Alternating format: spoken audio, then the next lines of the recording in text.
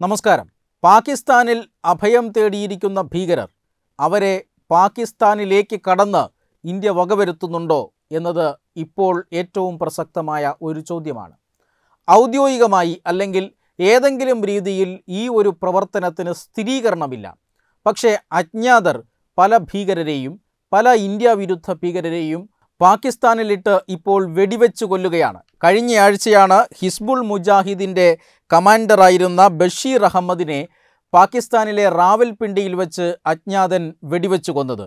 ഈ കഴിഞ്ഞ ദിവസം ഇതാ വീണ്ടും ഒരു ഭീകരവാദി കൂടി ഇന്ത്യ വിരുദ്ധ ഭീകരവാദി കൂടി തോക്കിന് ഇരയാക്കി ഇരയായിരിക്കുന്നു സയ്യിദ് ഖാലിദ് റാസ അൽ ബാദർ എന്ന ഭീകരവാദ സംഘടനയുടെ കമാൻഡറായിരുന്നു ഇയാൾ. ആയിരത്തി തൊള്ളായിരത്തി തൊണ്ണൂറുകളിൽ ജമ്മു കശ്മീരിൽ ഇസ്ലാമിക ഭീകരവാദത്തിന്റെ തേരോട്ടം നടന്നുകൊണ്ടിരുന്നപ്പോൾ കശ്മീർ ജനതയെ കശ്മീരിലെ സ്വാഭാവികമായി അവിടെയുണ്ടായിരുന്ന ജനതയെ കശ്മീരി പണ്ഡിറ്റുകളെയൊക്കെ അവിടെ നിന്നും പലായനം ചെയ്യിച്ച ശേഷം കശ്മീരിനെ ഒന്നാകെ ഇസ്ലാമികവൽക്കരിക്കാനും അവിടെ തല ഉയർത്തുന്നവർക്കെതിരെ അവിടെ ഇന്ത്യയ്ക്ക് വേണ്ടി ശബ്ദിക്കുന്നവർക്കെതിരെ വലിയ രീതിയിലുള്ള ആക്രമണങ്ങൾ നടത്തിയിരുന്ന ഭീകര സംഘടനകളിൽ ഒന്നായിരുന്നു അൽബാദർ. നിരവധി നിരവധി രക്തരൂക്ഷിതമായ ആക്രമണങ്ങൾ അൽബാദർ ഭാരതത്തിൽ നടത്തിയിട്ടുണ്ട്. ഈ അൽബാദറിന്റെ കമാൻഡറായിരുന്നു സയ്യിദ് ഖാലിദ് റാസ. ഈ സയ്യിദ് ഖാലിദ് റാസയെയാണ് ഇന്നലെ പാകിസ്ഥാനിൽ വെച്ച് വീണ്ടും ഒരു അജ്ഞാതൻ വെടിവെച്ച് കൊലപ്പെടുത്തിയിരിക്കുന്നത് എന്ന് പാകിസ്ഥാനിലെ പത്രങ്ങൾ തന്നെ ഇന്ന് രാവിലെ റിപ്പോർട്ട് ചെയ്യ ചെയ്യുന്നുണ്ട് എന്നുള്ളതാണ് ഏറ്റവും പ്രധാനപ്പെട്ട കാര്യം. ഇങ്ങനെ ഒരാഴ്ചക്കിടയ്ക്ക് രണ്ട് ഇന്ത്യ വിരുദ്ധ ഭീകരരാണ് അജ്ഞാതൻ വെടിവെച്ച് കൊന്നത്. അതായത് ആയിരത്തി തൊള്ളായിരത്തി തൊണ്ണൂറിലെ സാഹചര്യമല്ല ഇപ്പോൾ കാശ്മീരിലുള്ളത്.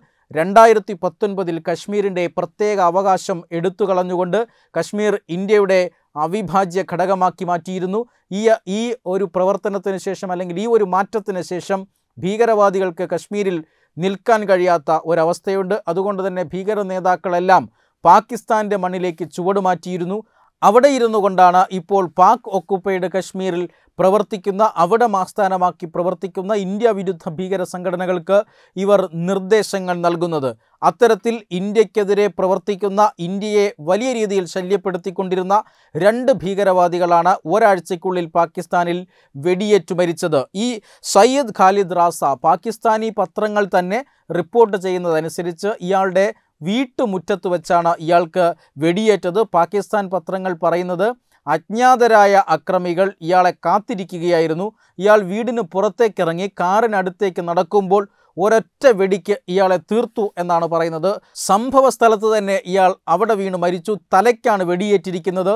ഇത്ര കൃത്യമായി ഒറ്റ വെടിക്ക് ഭീകരരെ കൊല്ലാൻ കഴിയുന്ന പരിശീലനം ലഭിച്ച ആളുകളാണ് ഈ കൃത്യം നടത്തിയിട്ടുള്ളത് എന്ന് വ്യക്തമാണ്. പാകിസ്ഥാന് ഇപ്പോൾ അത് ബോധ്യവുമാണ്. പ്രത്യേകിച്ചും പാകിസ്ഥാനിലെ ഇപ്പോഴത്തെ ഒരു രാഷ്ട്രീയ സാമ്പത്തിക സാമൂഹിക കാലാവസ്ഥയനുസരിച്ച് പാകിസ്ഥാനിൽ ഭീകരർ ഒട്ടും തന്നെ സുരക്ഷിതരല്ല.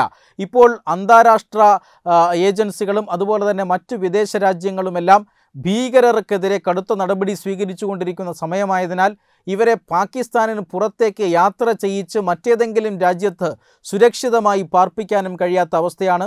പാകിസ്ഥാൻ സാമ്പത്തികമായി തകർന്നടിഞ്ഞ അവസ്ഥയാണ്. പാകിസ്ഥാനിൽ വലിയ രീതിയിലുള്ള സാമ്പത്തിക പ്രതിസന്ധിയും രാഷ്ട്രീയ അസ്ഥിരതയുമുണ്ട്.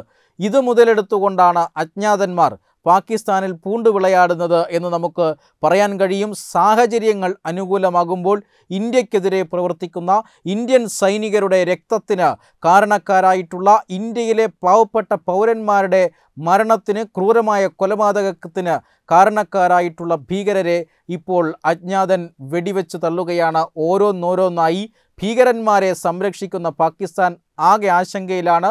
പേരുകേട്ട ഭീകരന്മാരിൽ പലരെയും ഇപ്പോൾ പാകിസ്ഥാൻ ഇന്ത്യ വിരുദ്ധ ഭീകരന്മാരെ സഹായിക്കുന്നുണ്ട് അവരെ സംരക്ഷിക്കുന്നുണ്ട്. അവരുടെ അടുക്കലേക്കും ഈ അജ്ഞാതൻ എത്തുമോ എന്ന ഭയത്തിലാണ് പാക് അധികൃതർ. Web desk തത്തുമയി news.